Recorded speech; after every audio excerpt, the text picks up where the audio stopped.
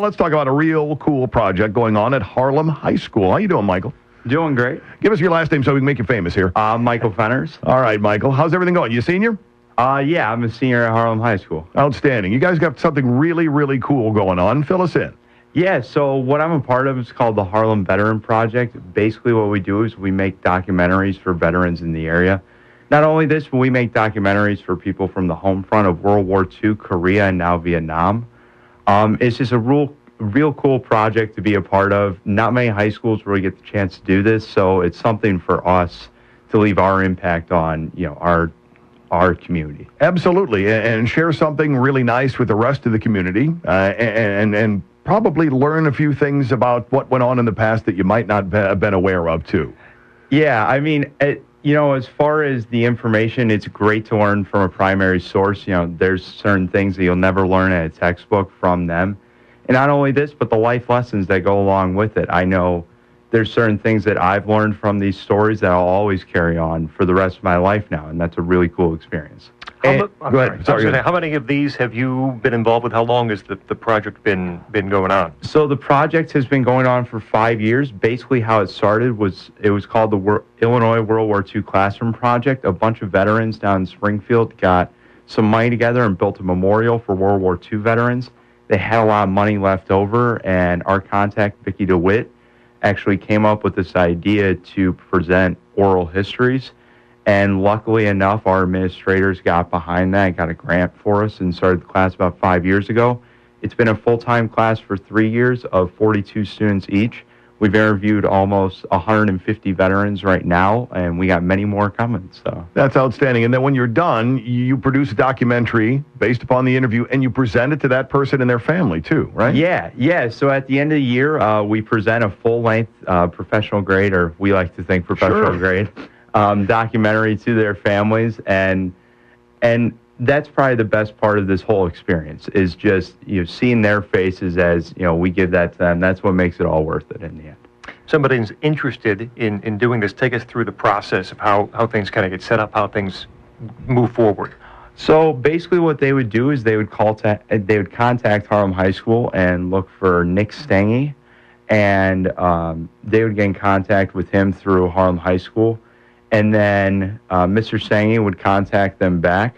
We would set up an interview day. We actually have several interview days coming up right now.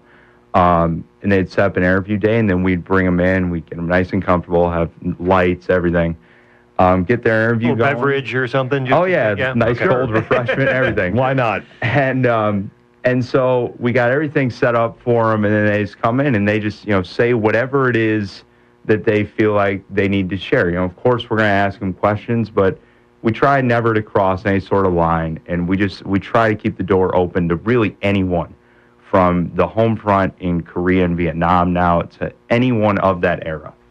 It, it's got to be an amazing experience. It just uh, in, in the different stories that you've heard, uh, and I'm sure some people have a, a greater ease in sharing their stories than others do. For some, uh, you know, telling you what went on might be a little more difficult than others too. Yeah, yeah. Again, you know, these stories that we've heard, um, it just gives you a new insight into the impact of what normal, everyday people um, can do it, for our community and, and for our country. Um, it definitely inspires myself and I think the rest of my classmates to really go above and beyond what we previously thought we could in high school. Now, people that are interested, Michael, there's also an event tomorrow night, if my information's correct, where people can find out a little more information, uh, ask questions, sign up, those sorts of things. Yeah, so um, tomorrow night at the Harlem football game, we're going to have our Harlem Veteran Appreciation Night. Basically, how that's going to work is veterans will get in for free, so that's always awesome. They have reserved seating. Um, we'll have runners get them food and drinks, that way they don't have to really worry about getting up, getting back down. We're going to have a lot of pageantry involved. We have over 300 flags that we're going to set up.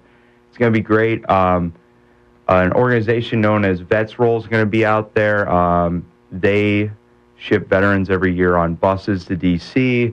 We're going to have a lot of people out there. We're going to try to have a good time, bring the community together. Um, we're going to have a table out there. So, for anyone that's interested in possibly having an interview done about themselves or someone in their family could talk to us.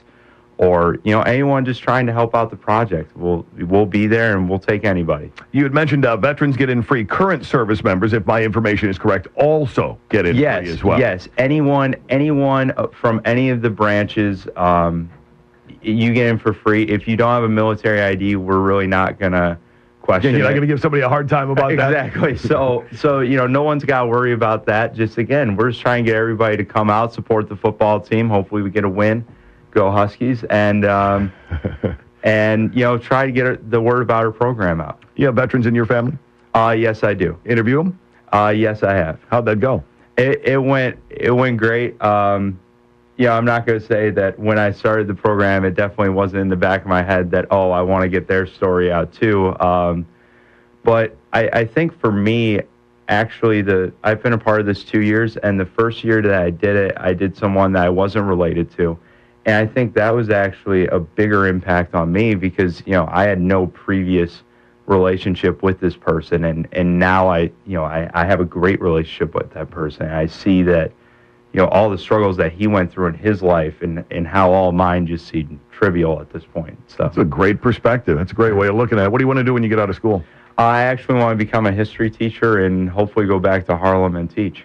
Outstanding. Outstanding. Good long-term plan. That is a good long-term plan, and you're a fine representative of Harlem. I, we want to point that out as well. For go ahead. Quick question too. I I know you present the documentaries back to the families. Are, are they available in any way for, for public viewing? Yeah, so on um, on the Illinois World War II Classroom Project website, if you Google it, it comes right up. Um, all of our documentaries are on there right now. Um, a couple students and I we're actually making a website for us uh, that should be live in about a week and a half. How cool. So uh, so we'll have a website through Harlem High School website, and and all of our documentaries that we've ever done are on there. Also, some of our clips from our gala, which is our end of the year presentation, to really just show off, you know, all the things that we've done.